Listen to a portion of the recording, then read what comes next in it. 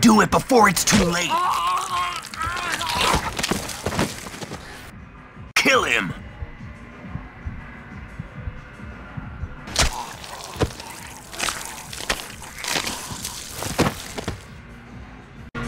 Finish him! I'm just not feeling the excitement like I used to.